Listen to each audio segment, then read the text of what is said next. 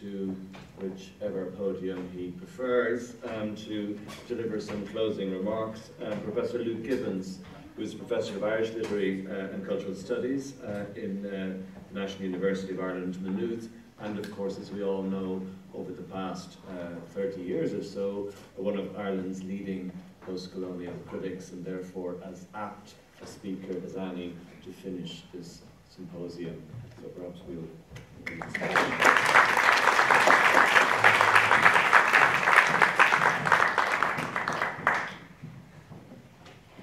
Thanks very much, Caoimhín, and thanks to all the organisers of the event. Um, someone, I think it was Aislinn, said Luke was supposed to bring the good news. Well, the gospel, Luke's gospel does mean good news. So I'm afraid mine won't be quite good news either, but it'll be more trying to tie up a few loose ends, loose ends. Um, when Declan brought up the question about what are the Irish in terms of colonialism, Joyce had a good intervention in Finnegans Wake. He said, where the English are full stoppers, they like things brought to a close, but the Irish are semi-colonials. the Irish never know when to stop. And that notion of the Irish as semi-colonials, I think runs through a lot of the conference. And in a sense, my remarks will be just picking up on kind of connections that previous speakers made. And one kind of linking um, connective tissue might be a phrase that comes up in uh, the film we saw this morning by Emmett Phelan. This notion of the choreography of coincidences. The notion that accidents are waiting to happen. And it's remarkable how much overlaps were between the papers, as if there was a kind of choreography behind the scenes. And indeed, when you go to the exhibition, we all are kind of choreographers of a sort, and we make connections between works that may be totally beyond the intentions of the artists, let alone the curators. And I think that idea, when John Logan was talking about the walls of Limerick, I was going to ask him, how come that becomes the name of a dance? it becomes a kind of choreography. The, the solid walls turn into the mobility and the eloquence of the body. And in a way, when we make those kind of connections ourselves as we go around the exhibition and indeed respond to the speakers. And when I think Grant Watson was talking this morning about Rabindranath Tagore's Indian connections with Europe and vice versa. And he, and he did mention in passing his connection with W.B. Yeats. But Tagore's, you know, one sense, more powerful connections was with Patrick Pearse, the leader of the 1916 Rising, because it, Tagore modelled his school in India on St. Enda's, Pearse's experimental school in Rathfarnham. And if we're bringing coincidences even further, it was the staging of Tagore's play, The Post Office, attended by Patrick Pearse and several signatories of the proclamation, that made people think maybe we should put on a real piece of street theatre around the corner from the Abbey in the post office itself. And the choice of the post office as the centre of the rebellion and as the centre of the rising. And it's that connection, it's that term, post office, that I think is a key way of revisiting the notion of post-colonial. As was pointed out there by service speakers, the word post needs to be rescued from its temporal aspects and needs to be repositioned in terms of post office, the post of post haste, the post of communications, the post of the letter, indeed the post of traffic and the post of communications between different zones. And it's that concept of post that's most relevant to post-colonialism. The post-colonialism is now, it's not in the past. So this notion that the word post uh, operates at many different levels that I think are important for kind of seeing how the various contributions made from, from the floor and indeed from speakers at the conference link up on this. So this notion that the post uh, is kind of out of, is a kind of time out of joint. The times are out of joint in post-colonialism. That brings up one of the key questions that was, I think, flagged in many different talks, and it has to do with a concept that wasn't overtly stated, but I think is implicit in a lot of the contributions. And it's what Freud called belatedness, or what is sometimes misunderstood as anachronism, or indeed came up in a slightly different term, the invention of tradition. The notion, in a sense, that the past is fixed and that the past is over and done with, and that if you do anything else with the past, you're inventing it, which I would really try and contest and try and interrogate. The, past is not over and done with. As William Faulkner said, it's not even past. And the idea that the past is still part of the present. In fact, it may be that the present, in some important ways, is trying to catch up with the past, rather than the other way around. And a key version of that, and this would be going back to the leaders of the 1916 rebellion, a book that, that is a remarkable book that, was, that coincided more or less with the publication of Portrait of the Artist as a young man, is Thomas MacDonagh's Literature in Ireland. MacDonagh had a literal deadline when he was reading, when he was correcting the proofs. A lot of us have pressure correcting proofs, but very few of us face a, a firing squad because MacDonagh was desperately trying to finish the proofs in Jacob's factory, knowing he was going to be executed. And he handed in half-baked proofs. But when Joyce's portrait came out, it was received through the prism of MacDonagh's remarkable book. MacDonagh, born in Cloughjordan, not a stone's throw from here. And in that book, MacDonagh brings up the whole question of the avant-garde and its relationship to revolution. And he makes explicit the idea that revolution and the avant-garde at least share this in common, that the present has not caught up with them, that the avant-garde is trying to create its own future and is hoping that sometime in the future the present will catch up with it. But, and Ezra Pound says the poets are the antennae of the race, they're the outriders. And the avant-garde have no mandate from the present. That's why people do not relate to the avant-garde. That's why the avant-garde is seen as elitist. That's why it's seen as having no popular currency. That's part of its project. This part of its project is not to answer to the present, it's to make the future. So the idea that the avant-garde have no mandate is precisely what Thomas MacDonagh seizes on by, relating, by talking about the futurists. So MacDonagh talks about futurism as having the future on its side. And it's precisely that way of looking at the 1916 rebellion that relates a revolution that had no mandate in the present. And it is true, and historians constantly point out they had no mandate, so it's illicit. But in fact, their mandate was coming from the future. And they made that expressly clear. All of them almost said, we, we are going to be castigated and ostracized now but, and our revolution will be illegitimate if the future doesn't catch up. And it's a good question whether the future ha has caught up. Part of the state's embarrassment over commemoration is that it may, it's a good question whether the proclamation, if you like, moderate and all as it was, and toned down as it was, if the state has even caught up with some of the primary pronouncements of the proclamation, not least the idea that public good always trumps private interest. And it's ironic that the very buildings that the rebels ended up with in Moore Street should be appropriated by a developer who was, who was going to demolish the buildings and was calling the state's bluff. And the state wasn't even prepared or originally to even try and protect its own foundations, quite literally its foundations, because private property trumped the public interest. Whereas in fact, the republicanism one of the strict kind of axioms of republicanism in the sense of classic civic republicanism is that the public interest always takes precedence over private interests along these lines. And that was the key coordinate. And the only time sacrifice is mentioned in the proclamation is nothing to do with bloodshed. It's, it has to do with sacrificing the private interest for the common good.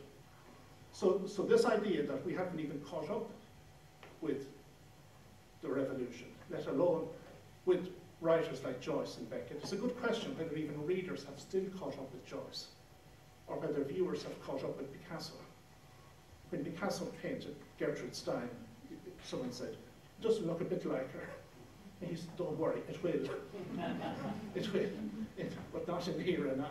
And, and this argument that time itself becomes part of a way of negotiating past, present, and the future. But bound up with that is another kind of aspect, which has to do with the notion of representation and the idea that memory is simply given and is passed on, if you like, to osmosis from generation to generation. Memory is not passed on, memory is made and remade in each decade and in each generation. And the making of memory does not detract from it. It's actually central to the idea that representation is actually part of memory. And the representation becomes bound up with the event. And in a very powerful way, the event of the Easter Rising was not simply something that happened as a once-off and then is commemorated in the future. The commemoration is part of the rising. They made, they took a gamble that they were going to be remembered. And, that, and they knew that this memory was going to be contested in every decade, including some decades it was going to be suppressed. It was going to be annihilated.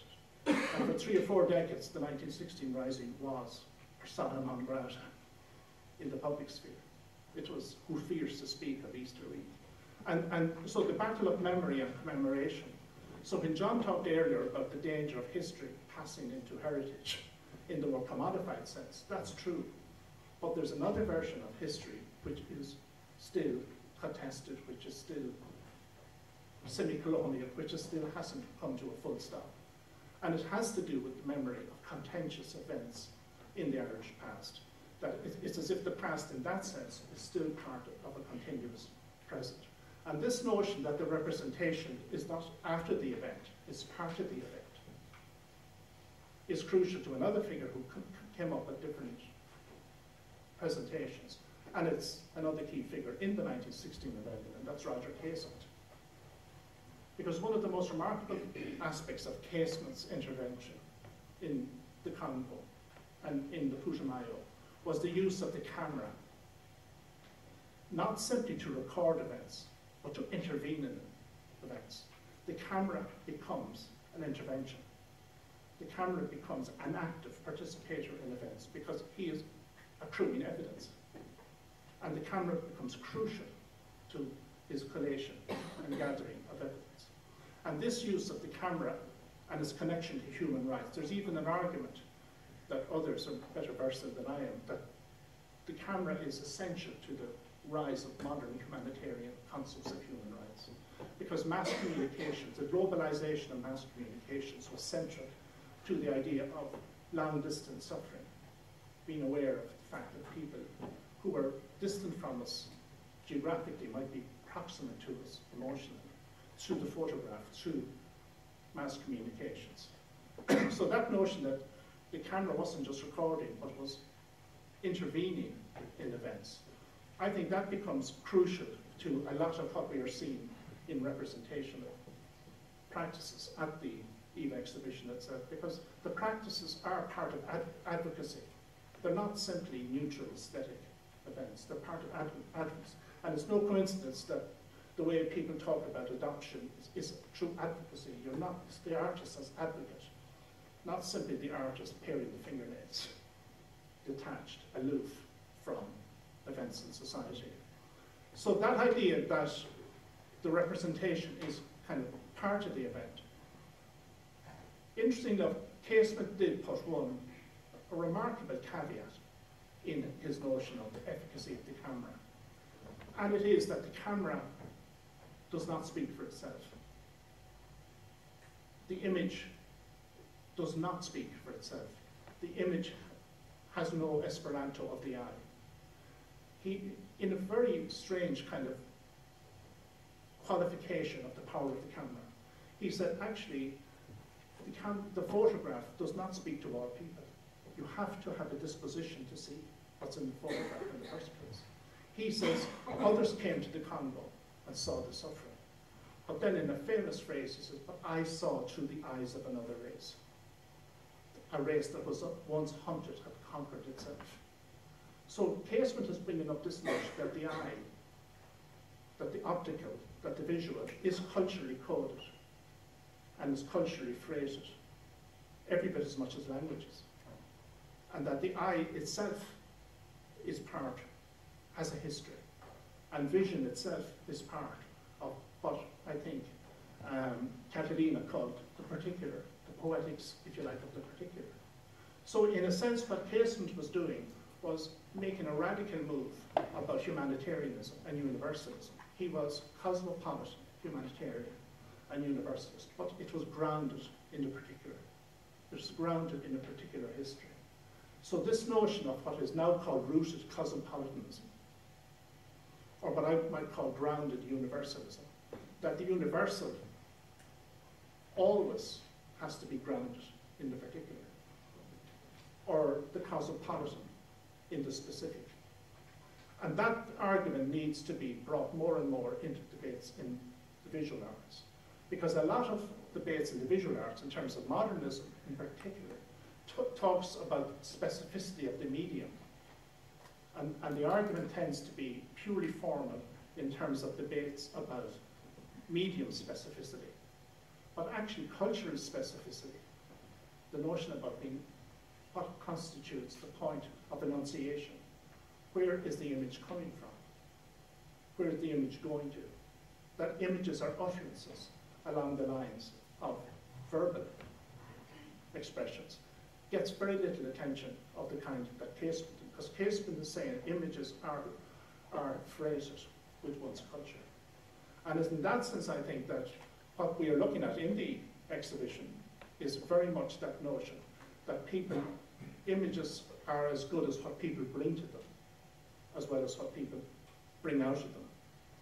And in that sense, I suppose, we are back again to what might be called the choreography of coincidence, or the aesthetics of accidents, in a way, because the particular, if you like, is the accidental, it's the contingent. It's what kind of challenges the systemic, it's what challenges abstract universality. And the particular becomes a kind of obstruction and becomes kind of an impasse. And I thought that one of the, one of the kind of, if you like, epiphanic moments of the conference was when Mary Evans drew, drew attention to the accident that I thought was almost good to be true, the accident that interrupted the sequence of emergence, the accident of the exit that interrupted the sequence of migrants. Because that accident is a gap. And it's almost as if the gap becomes an opening in the best sense of the word, rather than a closing down. And the gap, instead of disuniting, the gap closes and brings people together. And that extraordinary use that the differences between us, the gaps between us, are what bring us together. Not the, not the bridges. It's very easy to kind of praise the bridges, but then we see the gaps as dissonance. We see the gaps as a threat. We see the gaps as something that has to be overrun. But what Mary Evans's excellent showed was how much the gap becomes a binding rather than a threatening kind of force. And in that sense, I think, come back to, if you like, some of the earlier exhibits, if, when in Alan Phelan's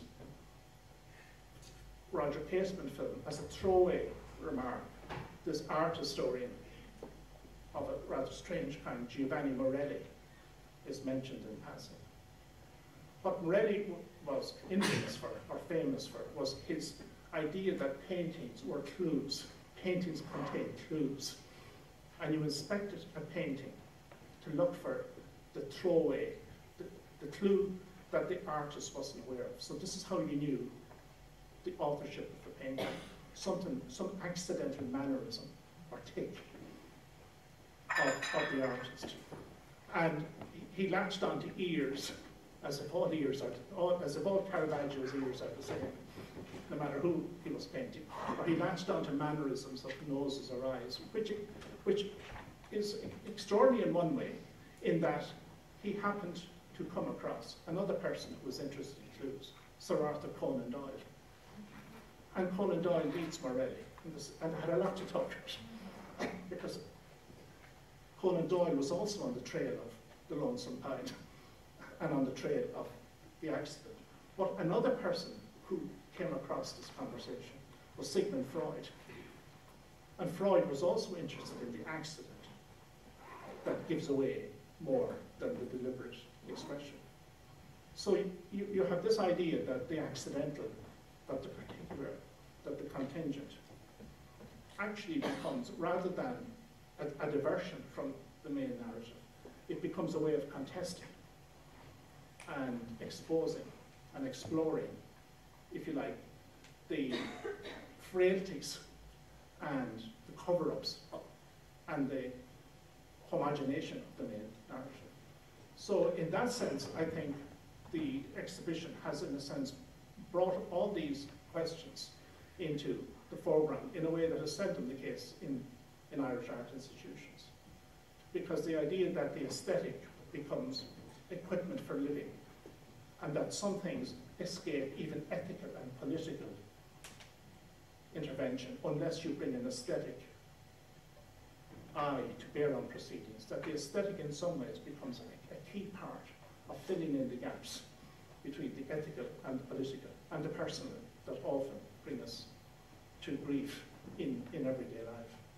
So in that sense, I think that the argument about phoning memory does have its own accidental history. The word phoning as people may know, is the Irish word fáinne for a ring. And it derives from Irish hucksters selling fake gold rings to immigrants at Ellis Island on entrance to the United States when, if you proved you were married, you got in. So the Irish never slow to miss a chance encounter, particularly exploiting people, said, get your, they began to pawn off these phony rings, get your phony here, get, get your, but of course the pronunciation got lost in translation. And, and fáinne comes across as phony. And the Irish ring goes on to tell a different tale. So on that low note, um, I think I'll wind up my contribution. So thanks to everyone, thanks to you for taking time and staying the pace.